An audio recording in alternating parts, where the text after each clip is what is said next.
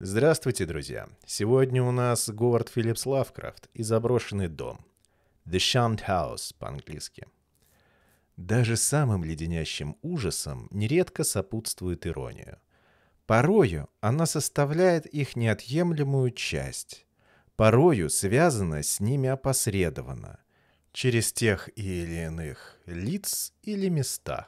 Прекрасным образцом иронии последнего рода может служить случай в старинном городе. Провиденс в конце сороковых, когда там частенько гостил Эдгар Аллан По в пору своего безуспешного сватовства к даровитой поэтессе Хелен Уитман. Обычно По останавливался в Мэншн Хаус на Бенефит-стрит, той самой гостинице, что некогда носила название «Золотой шар». И в разное время привечала таких знаменитостей, как Вашингтон, Джефферсон и Лафайет.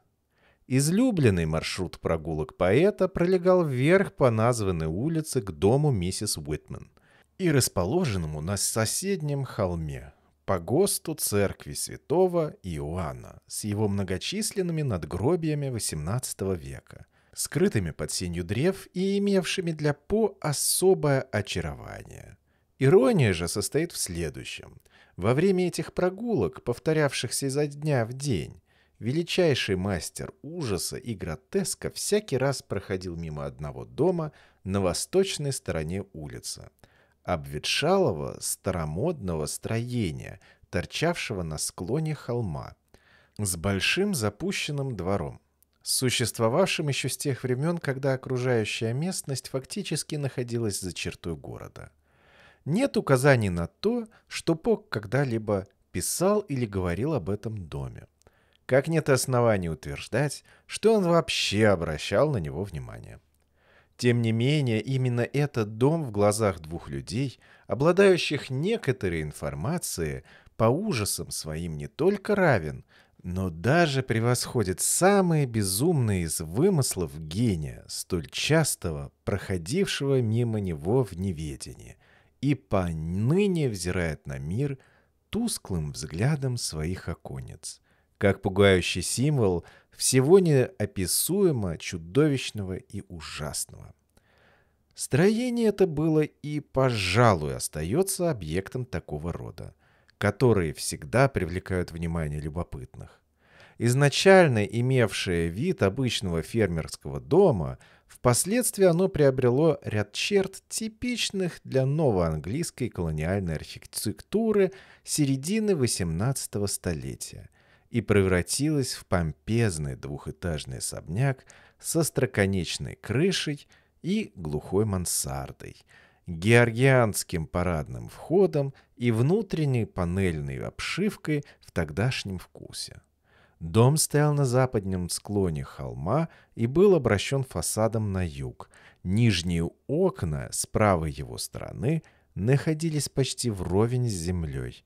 Зато левая половина дома, граничившая с улицей, была открыта до самого основания – Конструкция дома, чей фундамент был заложен более полутора веков назад, изменялась по мере улучшения выпрямления дороги, пролегавшей рядом с ним.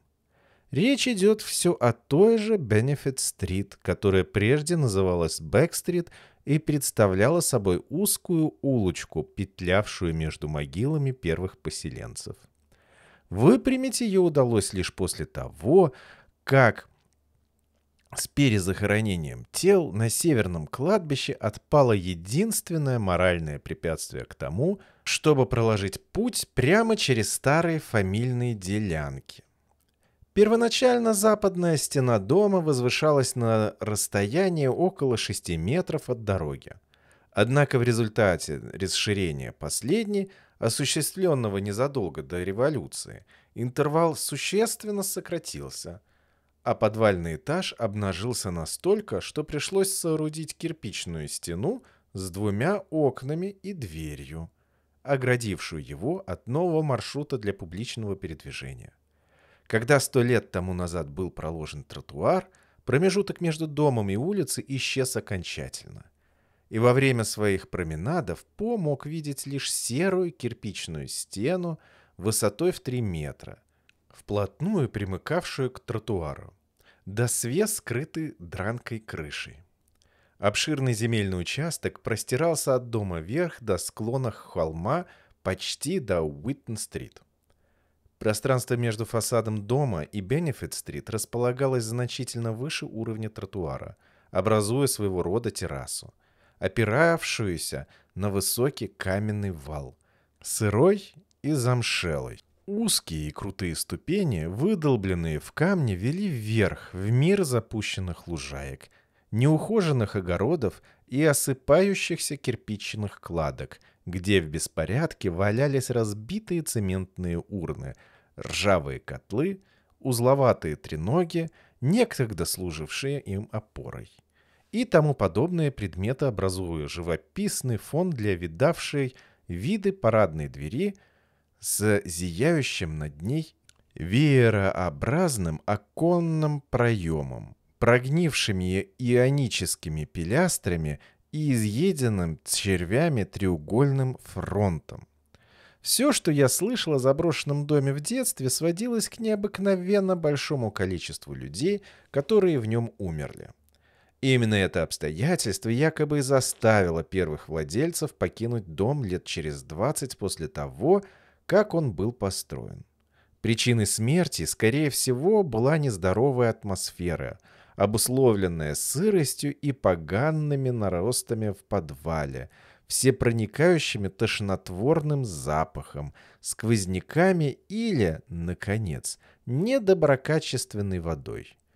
Любого из перечисленных факторов было бы вполне достаточно, а дальше таких предположений никто из моих знакомых не шел. И только записные книжки моего дядюшки, неутомимого собирателя древностей доктора Илайхю и Уипла, поведали мне о более мрачных подозрениях, ходивших среди старой прислуги и простого люда. Подозрениях, никогда не покидавших пределы узкого круга посвященных и по большей части забытых к тому времени, когда Провиденс вырос в крупный современный город с быстро меняющимся составом населения. Здравомыслящие горожане никогда не ассоциировали этот дом с нечистой силой. Об этом свидетельствует полное отсутствие рассказов о лязгающих цепях, ледяных сквозняках, блуждающих огоньках и чужих лицах за окнами. Иные максималисты называли дом дурным местом, но не более того.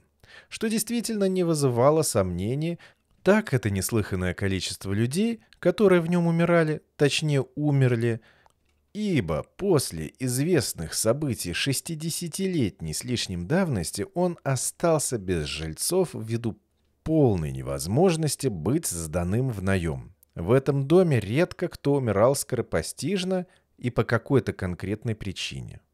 Общим для многих смертей было то, что у человека незаметно иссякала жизненная сила, и каждый умирал от того недуга, который в нем уже сидел, но только в гораздо более короткие сроки. А у тех, кто оставался в живых, в различной степени проявлялось малокровие или чехотка, а иногда и снижение умственных способностей, что явно говорило не в пользу целебных качеств помещения. К слову сказать, соседние дома вообще не обладали подобными пагубными свойствами. Вот все, что было мне известно на тот момент, когда уставший от моих настойчивых расспросов дядюшка показал мне записи, которые в конечном счете подвигли нас обоих начать расследование. В пору моего детства в страшном доме никто не жил. В расположенном на террасе дворе, где никогда не зимовали птицы, росли одни бесплодные, безобразно искривленные старые деревья — Высокая, густая и неестественно блеклая трава да уродливые, как ночной кошмар, сорняки. Детьми мы часто посещали это место, и я до сих пор помню тот своеобразный азартный страх, который я испытывал не только перед нездоровой причудливостью этой зловещей растительности, но и перед странной атмосферой и запахом полуразрушенного здания — куда мы часто проникали через незапертую парадную дверь, чтобы пощекотать себе нервы. Маленькие оконца были по большей части лишены стекол, и невыразимый дух запустения овивал еле державшуюся камышитовую обшивку. Ветхие внутренние ставни, отстающие обои, отваливающуюся штукатурку, шаткие лестницы и сломанную мебель. Пыль и паутина вносила свою лепту в общее ощущение ужаса, и подлинным храбрецом считался тот мальчик, который отважился добровольно подняться по стремянке на чердак. Обширное балочное пространство, которого получало свет лишь через крошечные угловые оконца, и было заполнено сваленным в кучу обломками сундуков, стульев и прялок за многие годы окутанными паутиной настолько, что они приобрели самые чудовищные дьявольские очертания. И все же самым страшным местом в доме был не чердак, а сырой промозглый подвал, внушавший нам наибольший ужас, хотя он почти вплотную примыкал к людной улице, от которой его отделяла лишь тонкая дверь да кирпичная стена с окошком. Мы не были уверены, стоило ли заходить в дом, уступая естественной тяге к неизвестному и пугающему, либо же следовало сторониться его, дабы не навредить душе и рассудку. Ибо, с одной стороны, дурной запах, пропитавший весь дом, ощущался здесь в наибольшей степени. С другой стороны, нас пугала та белая грибовидная поросль, что появлялась в иные дождливые летние дни на твердом земляном полу. И эти грибы, гротескно схожие с растениями во дворе, имели поистине жуткие формы, представляя собой отвратительные карикатуры на поганки и индийские трубки, каких мне не случалось видеть нигде больше. Они быстро разлагались и на определенной стадии начинали слегка фосфорисцировать, так что запоздалые прохожие нередко рассказывали о бесовских огоньках, мерцающих за источающими смрад оконницами.